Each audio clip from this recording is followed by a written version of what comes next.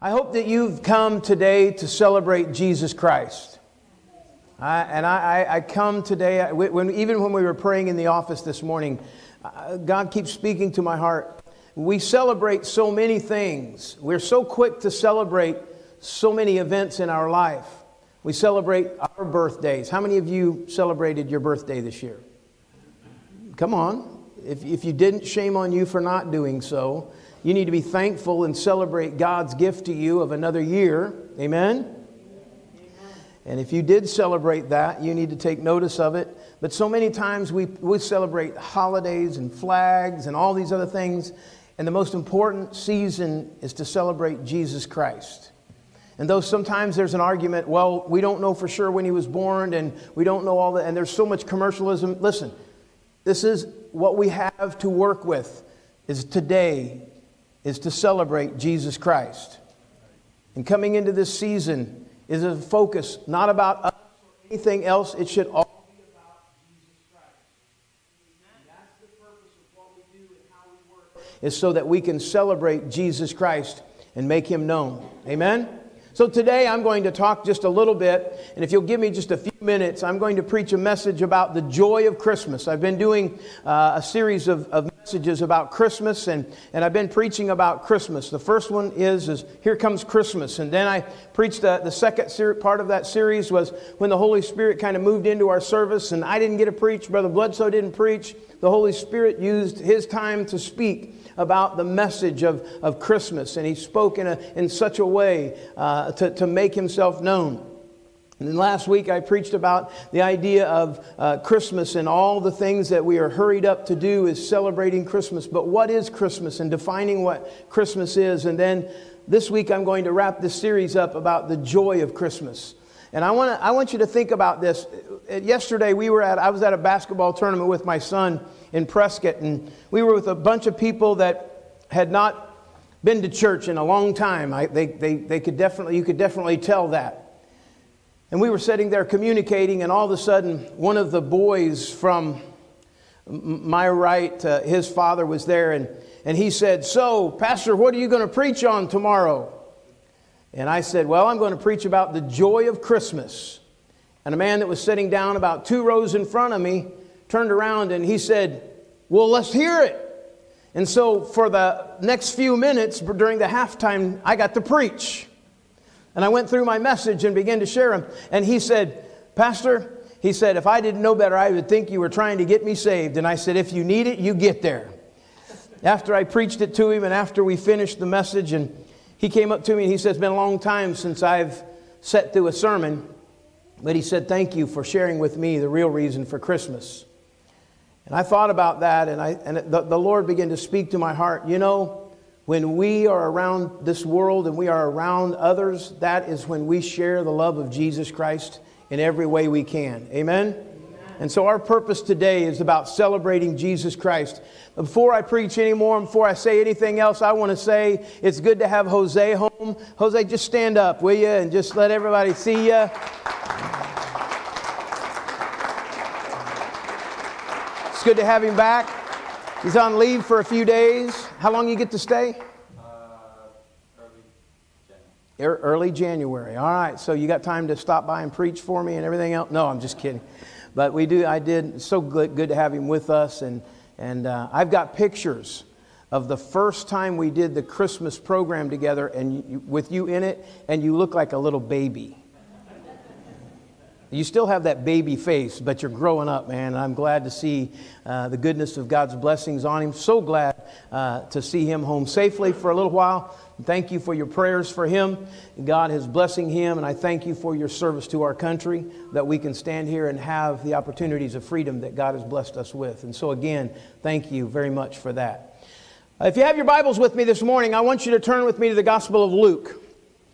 We're going to preach this morning about the joy of Christmas. This is the story, if you will, in the Bible of the Christmas story that's about the shepherds as they watch the flock. And, and I want you to turn with me here for just a few minutes, and I'm going to do my best to, to preach this message about the joy. And as you look at this, the scripture starts off in Luke, the second chapter, starting in verse 8, and it says, And now there were in the same country shepherds living out in the fields, watching, uh, keeping watch over their flocks by night. And behold, an angel of the Lord stood before them, and the glory of the Lord shone round about them. They were greatly afraid. And the angel said to them, Do not be afraid, for behold, I bring you good tidings of great joy, which shall be to all people. For there is born to you this day in the city of David a Savior who is Christ the Lord. I want to talk to you this morning about this joy that they spoke of, this great joy that he said. There is good tidings of great joy. I want to talk this morning about joy. I want to talk to you a little bit about what joy is. Joy is not just a feeling or a sense of happiness, a, a sense of achievement or an adjustment. Joy comes to us, and real joy is not an emotion. It is the happiness that, that, that is not dependent upon happenings. And sometimes we are only happy when happy things happen. Just turn to somebody and say, I'm happy. Amen. Amen? Because here's what happens a lot of times is we become happy when things are going good, but we oftentimes see difficult problems and difficult circumstances that come our way. And one of the things that you need to know is that when you trust in Jesus Christ as your Lord and Savior, it's not based upon what's happening in your life, it's based upon who is in your life.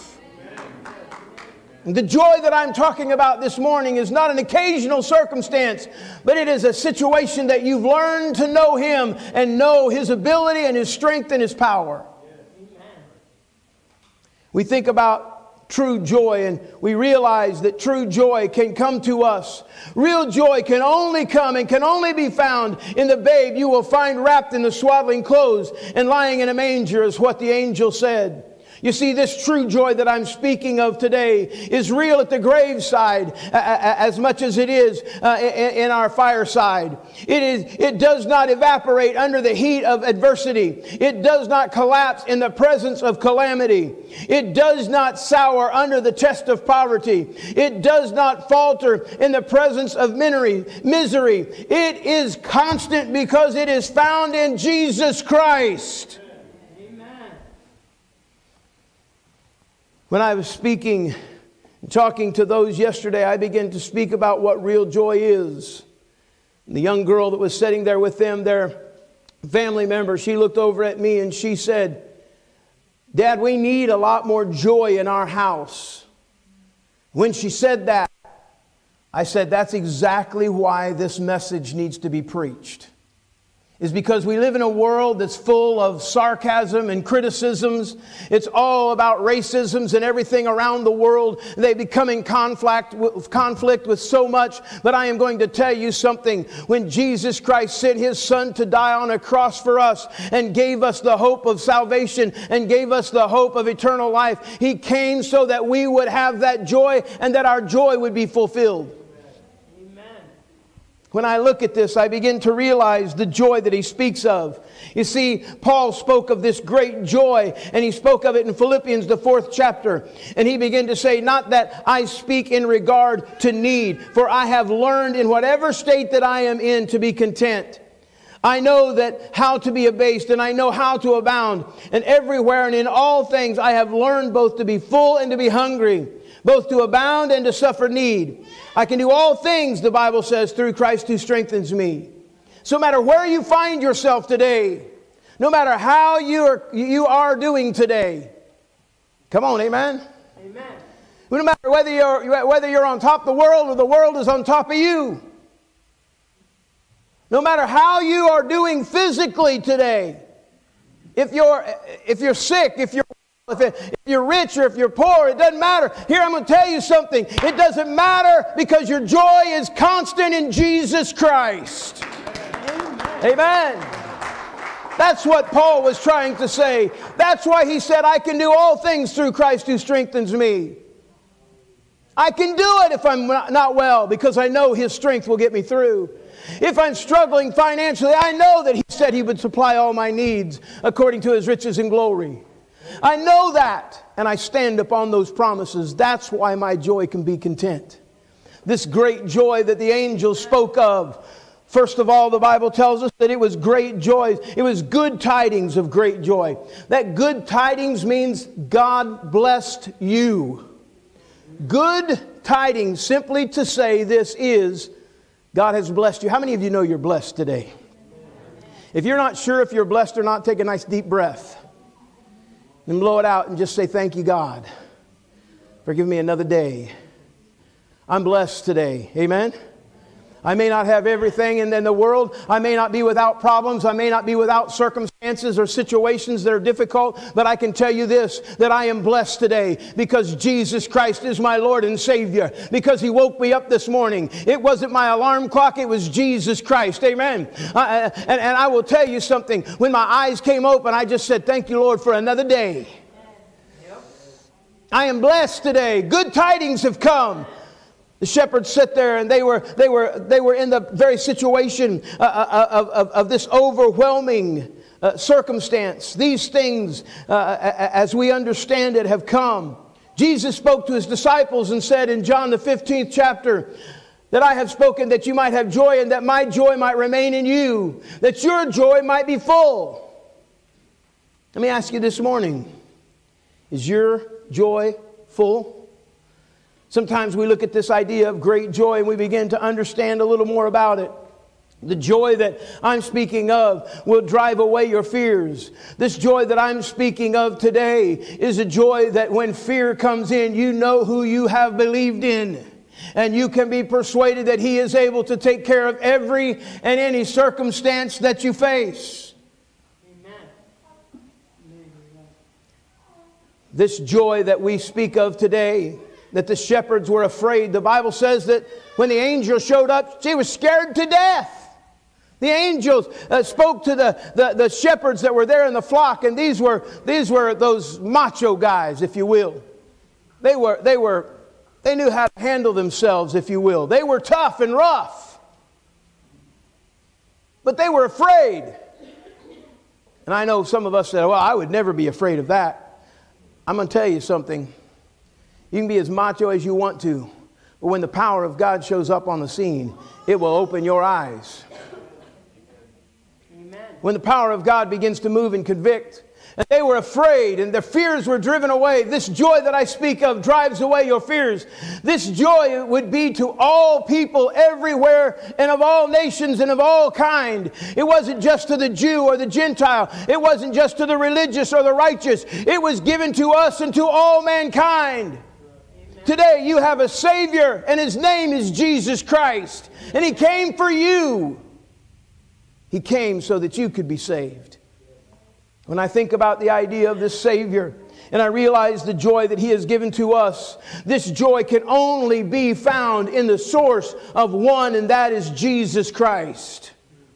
This joy that I speak of, and the joy that I speak of from the beginning of this message, is about finding that place in Jesus Christ. Because if you try to find it in other methods and in other ways, you will only fall short of the fullness of God's joy. Amen. The circumstance that we oftentimes find ourselves in and the joy that we try to fill it with. Come on, the world is trying to fill themselves up Amen. with the joy. Come on.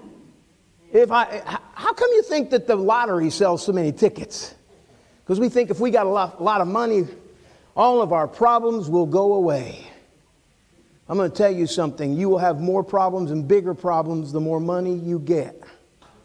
Amen? I'll just throw this in there for your own benefit, and for those of you who need it, hear it. Amen? Now, listen to me.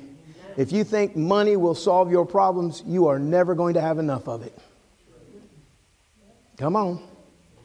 And then the second thing that I will tell you about money is this if you can't be faithful over what you have now to tithe and honor God with what is His, then why would God give you more?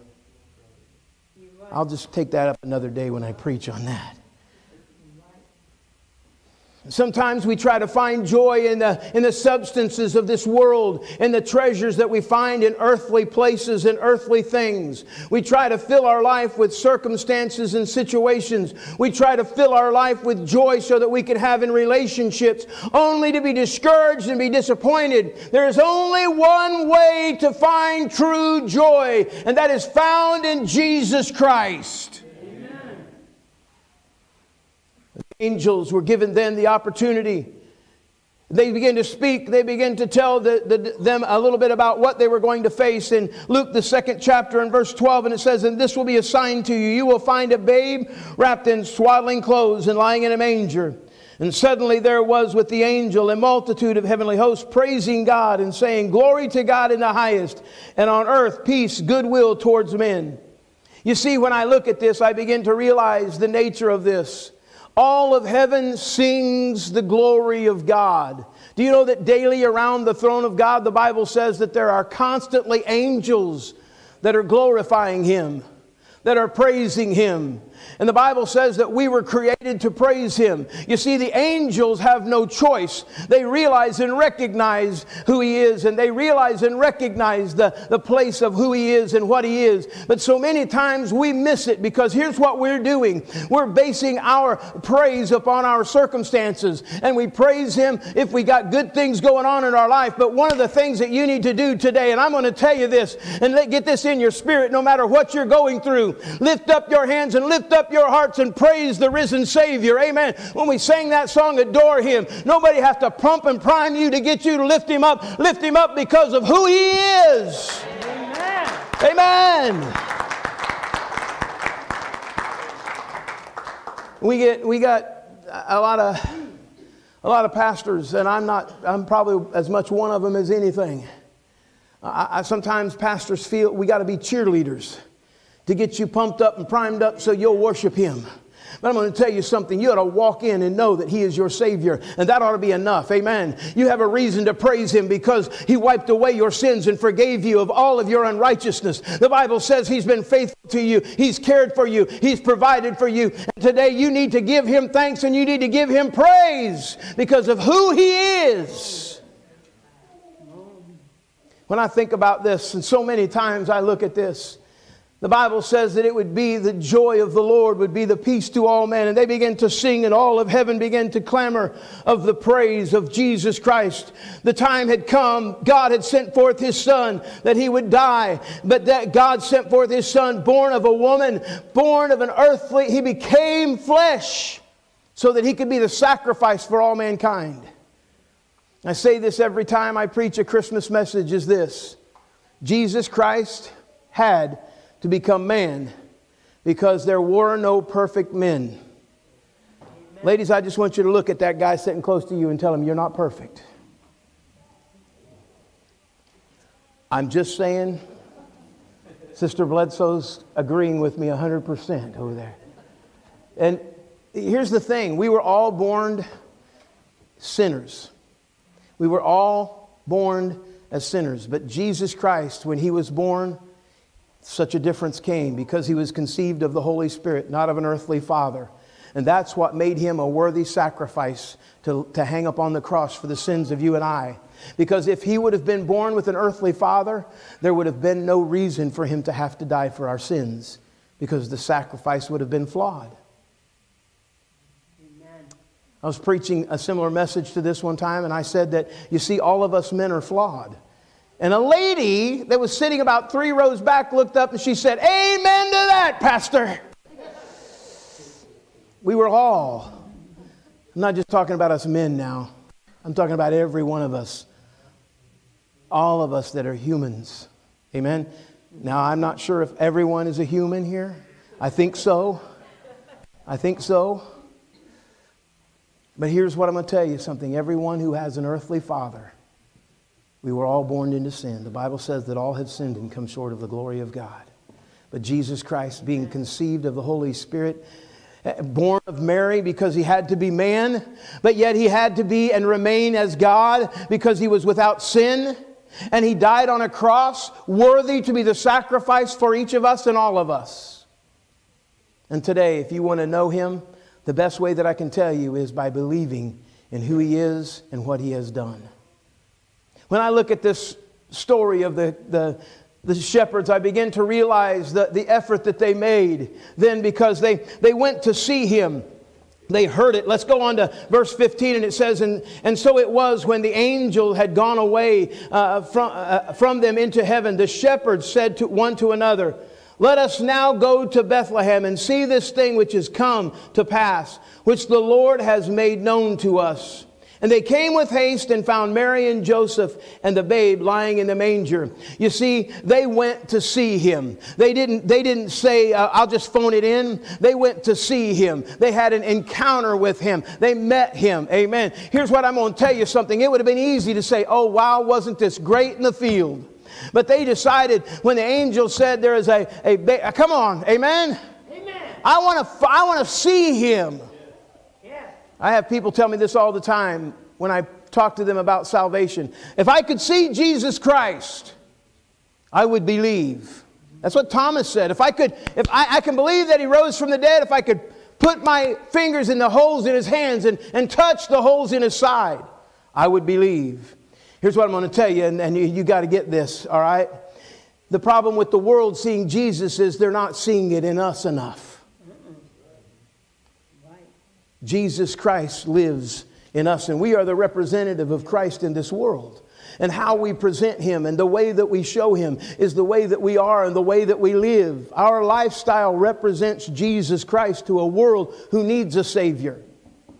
And when we see this, they, they went to see him. They, they didn't delay. They didn't call it in. They weren't like Herod and send uh, uh, uh, some wise men to go, go search out this, this Jesus, this Messiah and go find him for me. And then when you find him, tell me where he is so that I can come and worship him. No, they didn't do that. You know what they said? They said the angel had spoke to them. They were overwhelmed with what the angel had said, that they would find a babe wrapped in swaddling clothes and lying in a manger. So they packed up their stuff, left the sheep, and went to find out this Jesus and who he was. And they found the babe. If you seek Jesus, you will find him. The Bible says, Seek and you shall find. Amen? You gotta, if you're seeking for the answers to your life and your problems today, Jesus Christ is your answer. The Bible says, Seek while, you may, while he may be found. When we seek him, search for him with all of your heart. Don't half heartedly search for him. Don't try to mingle him in with the rest of your life, but search for him so that you can see him and feel him and know him. Amen. I never will forget we were doing a Christmas program one time, and one of the shepherds who had come to the program couldn't resist himself. And when they went there, Mary and Joseph were there by the, the, the manger scene, and the shepherds were there off to the side, and, and they had all, they were just looking on to it. This one shepherd had to be the center of attraction. He wanted to just, and he said, I just have to touch Jesus. And when he leaned down, he, he patted him on the head. And of course, this was the funny part of it. Mary reached up and smacked his hand and said, You don't you have to ask before you touch my son.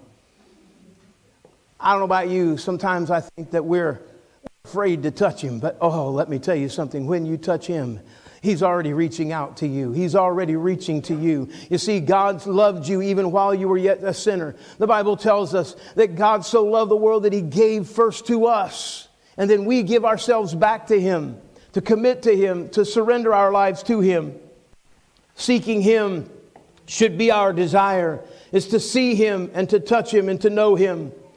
And then finally, this joy that they had received, they went and told everyone about what they had seen and heard. This last part about it is what the Christmas season is all about. Us telling the world that we have seen a Savior and His name is Jesus Christ. We can decorate and do all the fun things that we do, and I have nothing wrong with decorating. I'm a little lazy and don't do it much around my house, but I'm going to tell you this there is nothing wrong with decorating, but if you lose focus of the reason you're doing it, you have lost the season. The joy has become replaced with the feeling of who He is. You see, when we come to this place, we must understand the Bible says, and now when they had seen him, they made it widely known the saying which was told them concerning the child. And all those who heard it marveled at those things which were told to them by the shepherds.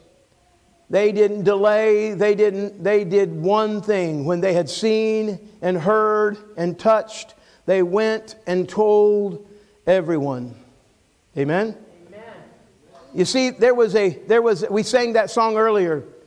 Go tell it on the mountain, over the hills and everywhere. Go tell it on the mountain that Jesus Christ is born. Come, I, I don't know. Somebody, they were asking me yesterday, they said, What is your, Pastor, what is your favorite Christmas song? Naomi started it this morning away in a manger, no crib for a bed. That's, that's, thanks, Jamie. That's enough. We'll do a duet later, but nah. when we sing about the Savior, I said anything cr- with Christmas talks about my Savior Jesus Christ. That's my favorite song. I said, but you know, I love it when they say, Joy to the world. The Lord has come. Now, uh, this has been a really good, uh, joyful message so far. You guys go ahead. Musicians, if you'll come, we're gonna, they're going to try to strum it with me. You guys, Manny's back there. Come on up here. Here's what I want you to do I want you to realize this. This little chorus that says, Joy to the world, the Lord has come. You know, there's a second time that we're going to sing Joy to the World. There's a second time that we're going to sing that because that he's coming back. And the Bible says that the same Jesus that went away to heaven, that, that died on the cross for us, the same Jesus that went to heaven, that same Jesus will come again. That same Jesus is return. And we're going to be singing this song in a different melody. We're going to sing Joy to the World, the Lord has come again. Amen.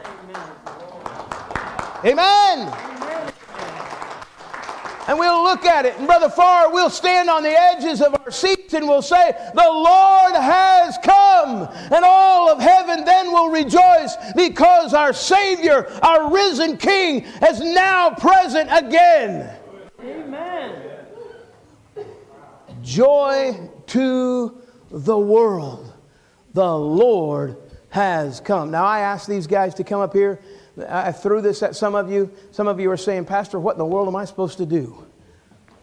Well, we're going to sing this song as best we can. Dave, you got it? he's looking at me like, Yes. I want you to do something with me.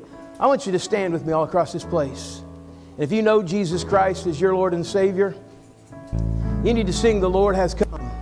Joy to the world.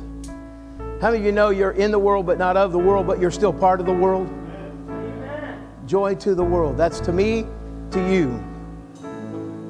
There's a Three Dog Night song that says, Joy to the world. All you boys and girls. But that's a secular song. This is joy, the Lord has come. You ready? Let's sing it. Sing it with us now. Joy to the world, the Lord is come. Let earth receive her King.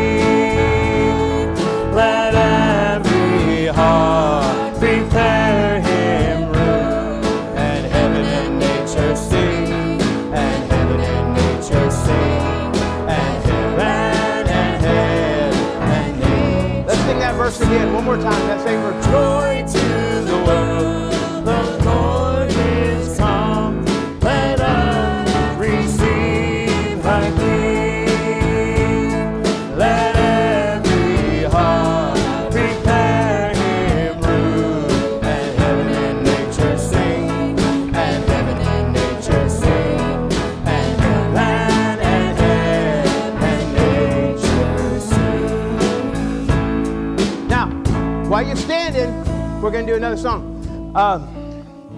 Saw Naomi come in. Is she still back there, or she she went back that way?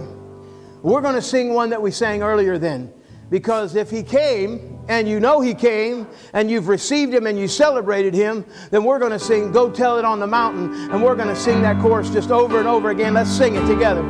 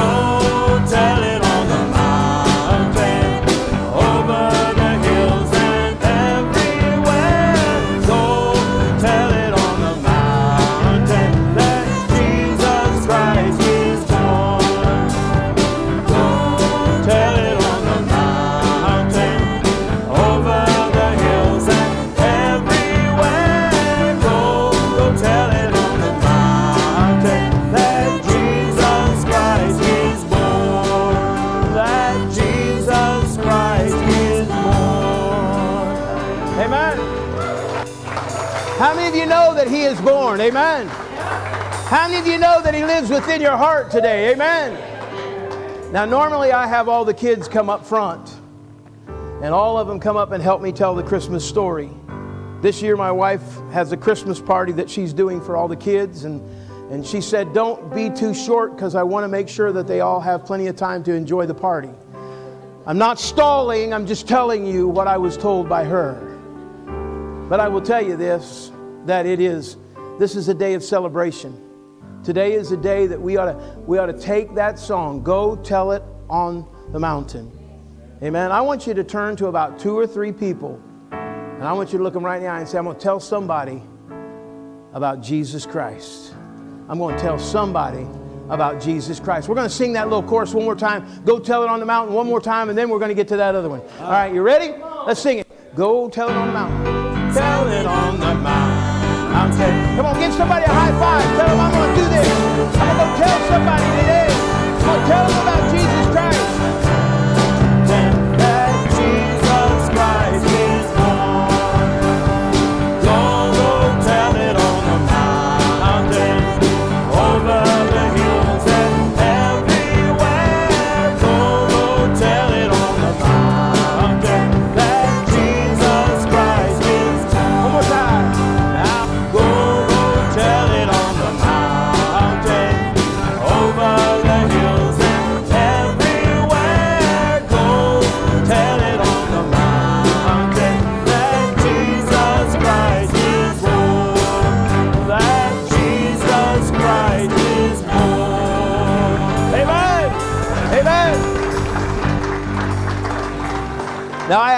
Faith to sing one, and, and I don't know if the rest of the musicians know this one or not. Um, the Faith says she's got it, and, um, and we're going to do this. We tried to do this through a video. You can be seated for just a few minutes because I'm going to tell you all the things that are going to happen in just the next couple seconds. After we are, we are finished with this song, Faith's going to sing a song that says, Happy birthday, Jesus. You ready, Faith? You got the words? I got the words. I, this is a little girl that's singing this song, Happy Birthday, Jesus. And I, I, I wanted somebody that sounded like a little girl, so I chose Faith to sing this song. Thank you. They call her my daughter anyway, so, but I, I, I want her to sing this song. And then when we're dismissed, I want everybody that can this morning. There, listen, there, there are some things that we have to do at a birthday party. There are some things that we have to do at a birthday party. One of the things that you have to do is you have to sing happy birthday, right? Yep. And, and, and Faith's going to do that. The second thing is, is we have to have cake, right? Yep. We got cake. Uh, There you go. Pastor, if you're wanting candles, you're going to burn this place down. No, I, I was going to do 2,000 candles, but you know, the third thing is, is here's what we're going to do. The third thing. The third thing is, is we have to give a gift to the one who's recipient of it. And we give Jesus Christ our life today. We surrender our life wholeheartedly and completely and say, Lord, here I am. I surrender my life to you. One of the greatest things that you can do is give your life to Jesus Christ. And while Faith is singing this song, I simply want you to think about whose birthday this is that we're celebrating and why we're celebrating this day, the joy that he brings. Faith, go ahead. Happy birthday to. Happy birthday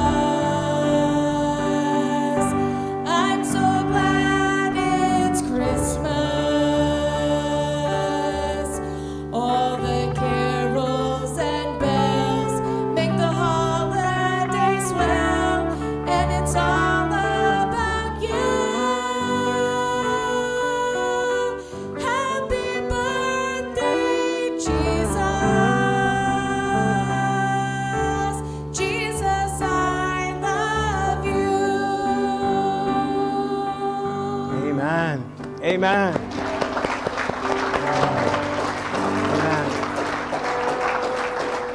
I'm going to ask you to do one thing before you leave. Would you tell somebody about Jesus Christ? I see a lot of smiles on a lot of the faces today. You're blessed today. The joy of the Lord is your strength, the joy of the Lord in your life, the blessings that He's given you. And today, the best thing you can do is tell somebody about Jesus Christ. Amen? Stand with me as we close this service today. Heavenly Father, as we stand in your presence, knowing you know everything about each of us today, Lord, I pray that each of us have already made that decision to choose you, to accept you, for the sacrifice you gave, leaving heaven and all of its glory to come to earth, to become a man, to suffer the pains that we have had to suffer on this earth. The Bible says, in every way that you were tempted, in every way that you were flesh, and you felt our pain. But Lord, you came not just to be born in a manger, but knowing that the cross was your destiny. You came to die upon a cross a cruel death. And what a vain thing it would be for us to reject that Savior, Jesus Christ. So today, if there are those that do not know you, I pray that God, they would accept you, that they would put you on the throne of their heart, that God, we would be busy as the shepherds were that first Christmas morning to tell everyone we know about this baby who has come, and his name is Jesus Christ. God, we thank you for this day. Now, would you be with each of us? Keep us safe upon our holidays as we travel and as we celebrate your Son, Jesus Christ. Keep your hand upon us, God, that as we're busy about telling others about you, may we live our life completely surrendered to you. We ask it, we thank you for it. In Jesus' name, amen. Amen. God bless you. Hug somebody's neck before you leave. Don't forget to get cake. I don't want to take any more cake home. Go eat the cake.